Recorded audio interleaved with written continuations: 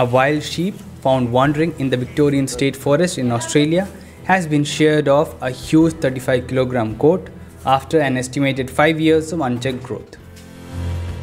Struggling under a filthy fleece, caked with years of mud and tangled debris, sheep was taken to an animal rescue sanctuary north of Melbourne.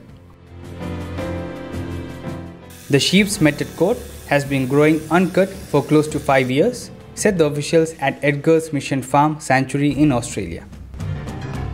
Unshorn sheep struggle to walk under immense weight of their wool and without a haircut at least once a year, most of them will not last long in the wild, particularly in Australia's often harsh and dry summer.